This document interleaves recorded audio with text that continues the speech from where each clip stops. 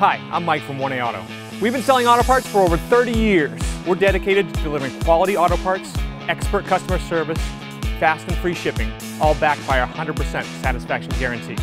So visit us at 1AAuto.com, your trusted source for quality auto parts. In this video, we're going to be working with our 2011 Chevy Camaro 3.6 liter V6 manual transmission.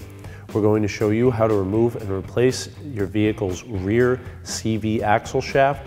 We are doing this on the passenger side, but the procedure should be the same on the driver's side. If you like this video, please click subscribe. We have a ton more information on this and many other vehicles. And if you ever need parts for your car, you can follow the link down in the description over to 1AAuto.com. Here are the items you'll need for this repair.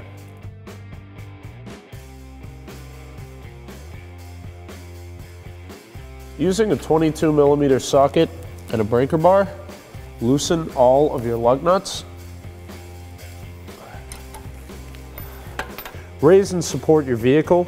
We're using a lift to make it easier to show you what's going on, but this job can easily be done at home on a jack and jack stands. Remove your lug nuts. Remove your wheel and tire. Using a 32 millimeter socket and a breaker bar with the vehicle in gear and the parking brake on, we'll loosen our axle nut. Now these are one-time use, so if you remove this, be sure you have a new one to reinstall when you're done. Once we get it loosened up, we'll switch over to a socket and ratchet.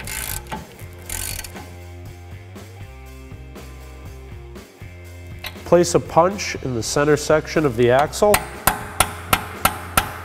and tap the splines loose. All of the bolts on your caliper being the two 14 millimeters on the pins and the two 16s securing it to the knuckle are one-time use. So if you remove any of this hardware, be sure you have OE replacements with you. We're not going to remove the caliper for this. We're going to move the bracket and caliper as a whole. So we're going to use our 16 millimeter socket and ratchet to loosen and remove the bolts. Make sure you have a bungee cord or some mechanics wire or zip tie handy so you can secure your brake caliper out of the way without putting strain on the rubber hose. Using a T30 Torx bit and ratchet, remove your rotor screw. Release your e-brake.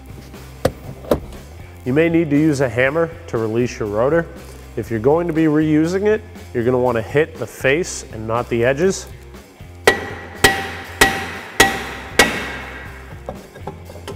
This will free it up without damaging the contact surface of the rotor. Remove the two 13 millimeter bolts at the bottom and the one on the top, securing the wheel hub and bearing assembly to the knuckle.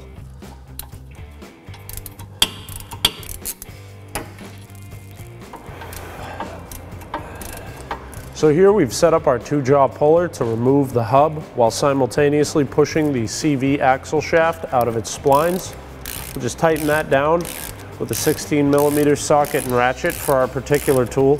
They also have a variety of different hub pullers as well as slide hammers, but if you want to keep the wheel bearing in good shape, a slide hammer is not the tool you want to use.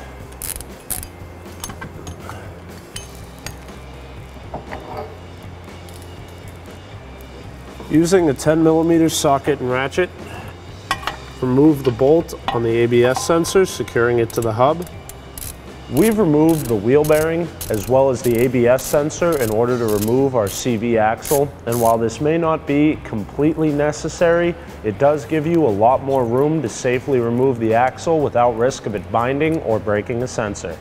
Wiggle the sensor and remove it from the wheel hub. Using a small flat blade screwdriver or a right angle pick, you'll need to grab this spring washer as their one-time use. So we'll need to change this out before we put our new hub on. Just go ahead and work that off the end of your CV axle and throw it away. Remove the 18 millimeter bolt securing the knuckle to the upper control arm with an 18 millimeter socket, ratchet, and a wrench.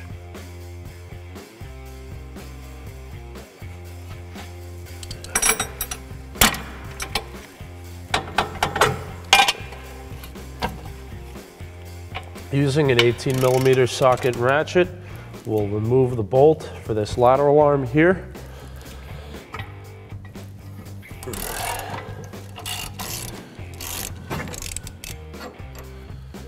Using an 18 millimeter wrench, a socket and ratchet, we'll loosen both of the lower control arm bolts.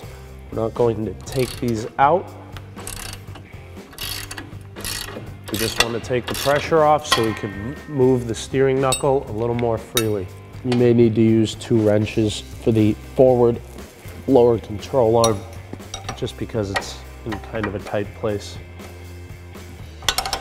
Pull down on the top of the steering knuckle, and you should be able to work the CV axle out and set it off to the side. Now, if you have a CV axle puller, that's usually the best way to do this.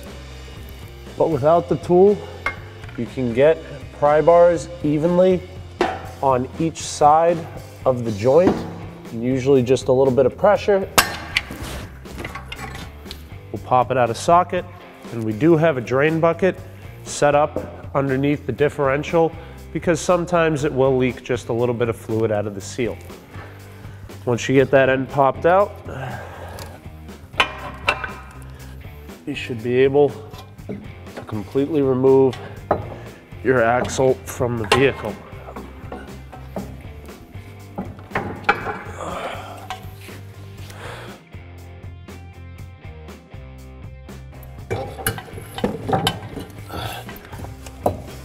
Line up the splines into the differential. Reinstall your CV axle. Pry down on the knuckle and reinstall your CV axle. Reinstall the bolt for the lateral arm. I'm just gonna get that started by hand for now. We'll then slide the knuckle and the upper control arm back together. Reinstall that bolt as well and get the nut started on the back. Since we're using a lift, we're gonna use screw jack to put our vehicle at ride height. If you're doing this on a jack stand, you can easily achieve this with just a regular floor jack. All we're trying to do is jack it up, compress the suspension to about where the vehicle would ride at. So when we torque these bolts down, our bushings are preloaded at ride height and not full droop. We'll start by tightening down our adjustable link nut with an 18 millimeter socket and ratchet. We'll then torque this bolt to 103 foot-pounds. We'll now snug the upper control arm nut and bolt with our 18 millimeter socket, ratchet, and wrench. We'll then torque to 44 foot-pounds. We'll then add 90 degrees. We'll retorque the lower control arm bolt to 30 foot-pounds. We'll then add 120 degrees.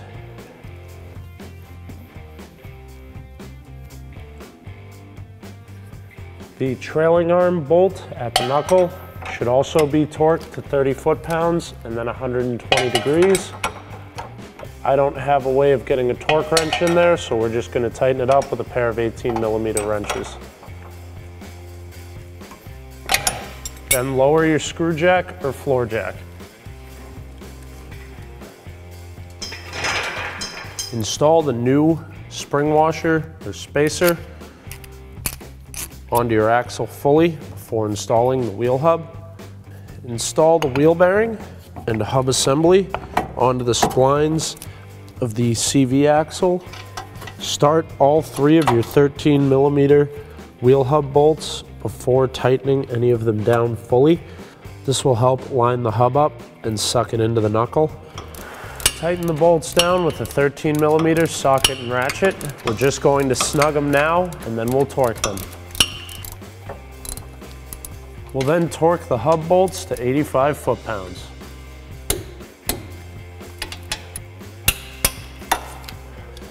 Reinstall your wheel speed sensor into the hub and tighten down the 10 millimeter bolt. Reinstall your rotor Just use a T30 Torx bit on an extension or a T30 Torx screwdriver if you have one. And I'm just gonna snug that rotor screw in. It doesn't really do anything structural, it just holds this in place to make installing the caliper easier. So as long as you get it on there tight and this isn't moving, you should be fine. Reinstall your caliper and carrier onto the rotor and put your two new 16 millimeter bolts through the knuckle and into the carrier.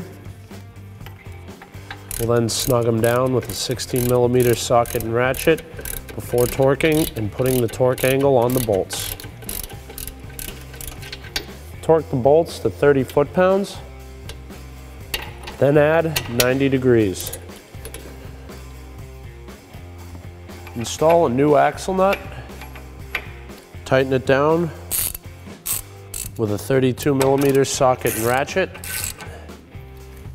Torque the axle nut to 200 foot-pounds.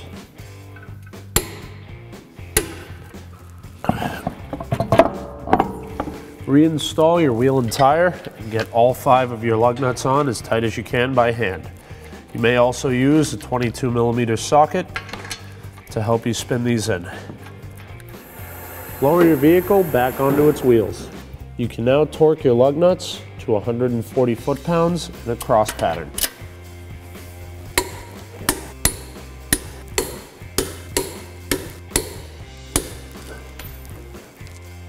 Thanks for watching.